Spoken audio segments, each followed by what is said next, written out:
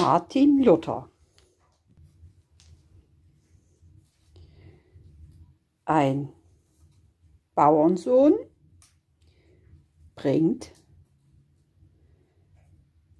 Bewegung. Aus dem Filmstudio Assi. Heute Film Nummer 6. Aus einer Begegnung wird Liebe. Martin Luther und Katharina von Bora.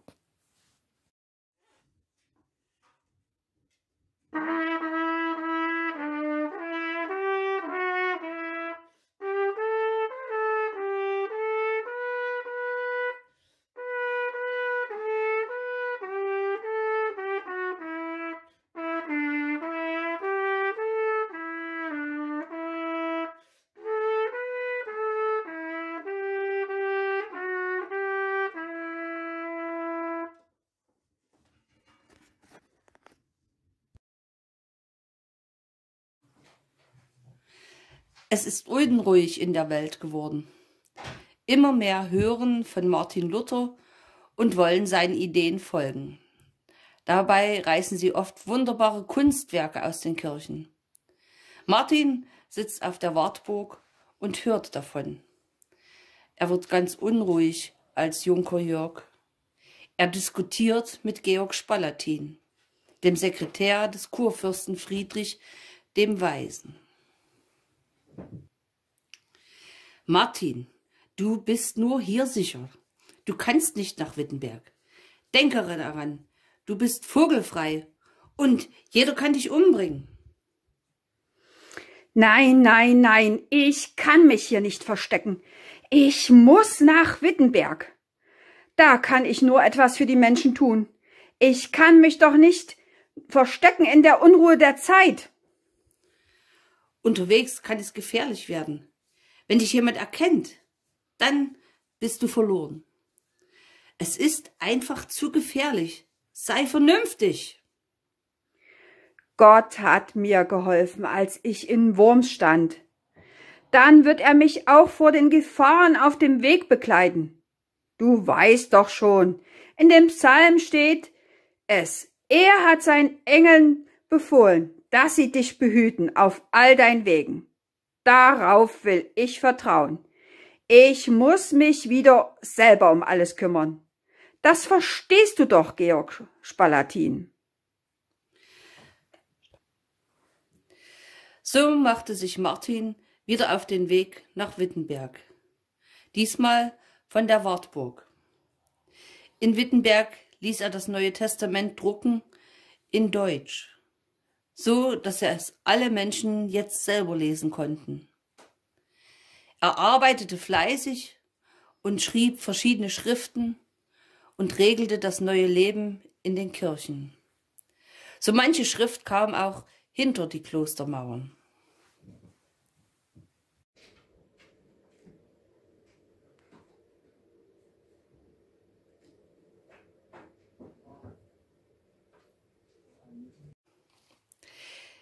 Im Kloster unweit von Grimma, nämlich in Nimpschen, leben viele Frauen als Nonnen.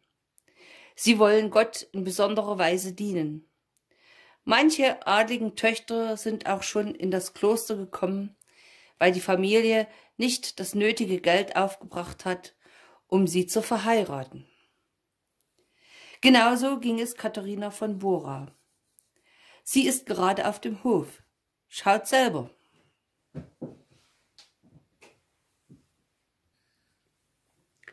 Was kommt da geflogen, Katharina? Ein Kinderstreich wird das wohl sein. Ich schau mir das mal an. Magdalena, nein, das ist etwas von Martin Luther. Hier steht, dass wir Gottes Gnade nicht verdienen können. Gott ist ein gütiger Gott, der uns seine Liebe schenkt. Nicht so laut, Katharina. Weißt du, was das bedeutet? Wir müssen mit Ave, Margarete und Elsa reden. Wenn das wahr ist, dann ändert das unser Leben hier komplett. Komm, lass uns zu Ave von Schönfeld gehen. Katharina und Magdalene trafen sich heimlich mit den anderen Nonnen. Es durfte niemand etwas mitbekommen. Die Fastenzeit hatte begonnen, es wurde auf Fleisch verzichtet, stattdessen gab es nur Fisch. Es wurde viel gesungen und gebetet. Zwölf Nonnen trafen sich heimlich und schmiedeten einen Plan. Für die anderen Nonnen war es nicht ersichtlich. Schließlich hörten sie diese sehr oft singen und laut beten. Es ist eine besondere Nacht für alle Nonnen im Kloster Nimschen. Es ist Osternacht. Es sind einige Nonnen, die singen und beten in der Kapelle. Sie denken daran, dass Jesus in der Nacht auferstanden ist. Für zwölf Nonnen ist das auch eine besondere Nacht des anderen Aufstehens. Aufstehen in ein selbstbestimmtes Leben.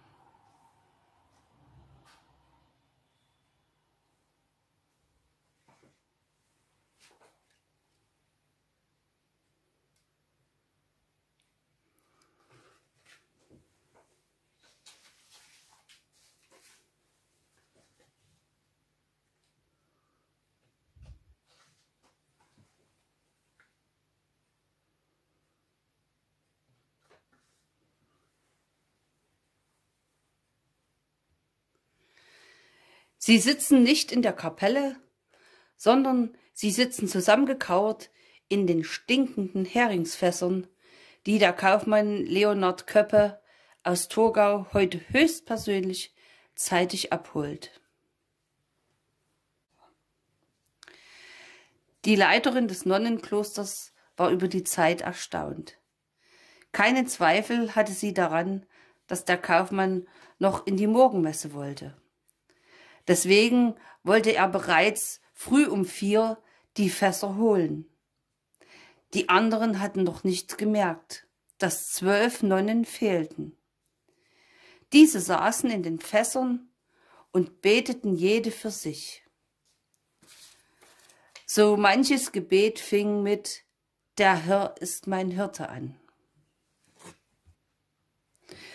Ich hoffe, der Hering hat Ihnen gut gemundet, Natürlich. Jeder Fisch erinnert uns doch an den Herrn Jesus Christus. Gott möge Ihnen gnädig sein, Mutter, Oberin, bis zur nächsten gottgefälligen Lieferung.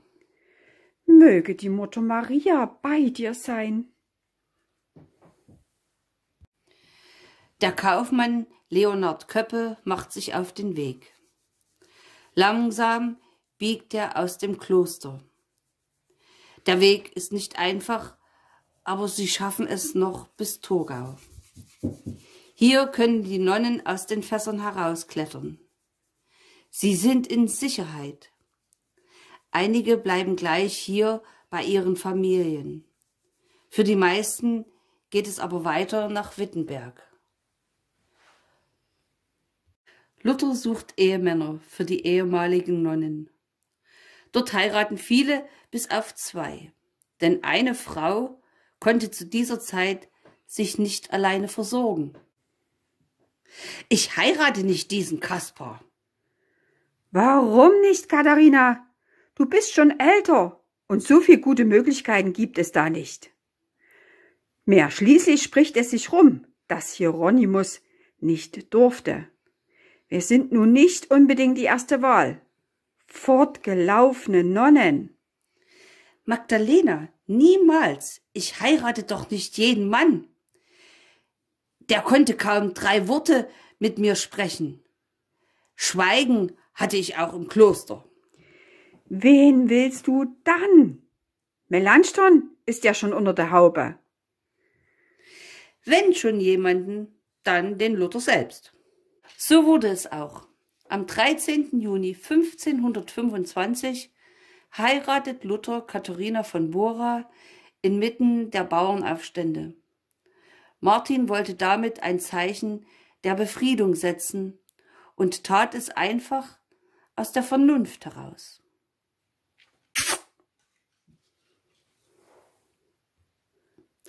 Also Martin, das ist nicht dein Ernst. Auf diesem alten Strohsack lege ich mich nicht. Der fliegt in hohem Bogen raus. Dann mach es doch. Ich habe dafür keine Zeit. Die Studenten müssen unterrichtet werden. Auch heute kommen noch ein paar, die hier wohnen wollen.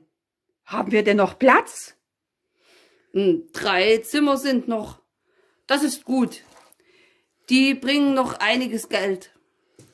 Wir müssen noch weiterbauen und Land kaufen, damit wir alle Münder satt bekommen. Bier muss ich auch noch Neues brauen. Aber übernimm dich nicht und mach langsam, schon dich in deinem Zustand. Es konnte Martin nichts Besseres passieren, als Katharina im schwarzen Kloster zu haben. Sie sorgte jeden Tag für viele Leute. Oft saßen am Tisch 40 Personen. Sie bekamen Kinder. Johannes, Elisabeth, Magdalena, Martin, Paul und Margarete. Es lebten im Haus auch noch Neffen und Nichten, viele Studenten, und Katharina war Köchin, Bäuerin, Imkerin, Krankenschwester, Erzieherin, Bierbrauerin, Buchhalterin und Mutter. Hört selbst. Mein lieber Herr Käthe, hör mir mal zu. Wenn ich morgen die, We wenn morgen die Welt untergehen würde, würde ich heute noch eine Eiche setzen. Wieso? Eine Eiche? Bis die groß ist, dauert es ewig. Und satt macht die doch auch nicht. Nimm doch lieber einen Apfelbaum. Das verstehen die Menschen viel besser. Mein lieber Herr Käthe, du bist mir von Gott geschenkt worden. Du hast recht. Das klingt wirklich gut. Wenn morgen die Welt untergeht, dann würde ich heute noch einen Apfelbaum pflanzen. Katharina und Martin liebten sich sehr. Sie mussten auch manches Schwere erleben. Ihre Tochter Elisabeth starb als Baby von sieben Monaten bereits und ihre fröhliche Magdalena wurde nur 13 Jahre alt. Sie war krank und verstarb daran. Tief traurig war darüber Martin und auch Katharina. Sie vertrauten beide Gott, dass er sie in dieser Situation nicht alleine lässt. Martin behandelte seine Frau anders als damals üblich. Sie war sein Gegenüber. Das zeigt sich auch darin, dass er sie als Erbin in seinem Testament festlegt. Diese Möglichkeit sah das Recht damals gar nicht, sondern es wurde immer an die Männer weitervererbt. Heute ist hier Schluss. Das war ein Film aus dem Filmstudio Assi.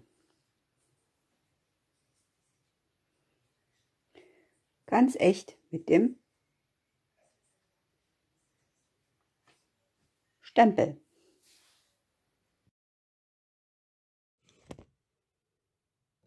Musik